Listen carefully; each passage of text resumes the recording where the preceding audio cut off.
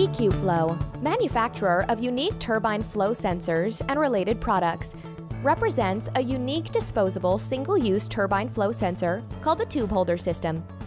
The tube holder single-use flow meter consists of a fundamental unit, the tube holder and an exchangeable disposable flow tube, which is manufactured under cleanroom conditions. The manufacturing data are provided on the label of the flow tube, such as the lot number and serial number. Additionally, the calibration data are saved in two-dimensional barcode. The two-dimensional barcode partially consists of the K factor, which is the amount of impulses per liter of liquid based on water. The two-dimension barcode can easily be scanned with the scanner, which is placed next to the tube holder. Exchanging the flow tube can be done within seconds.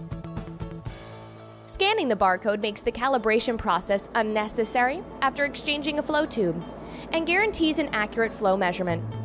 Overall, the single-use disposable flow meter is an excellent choice for all processes that require high demands on reliability and accuracy against a very attractive, affordable price.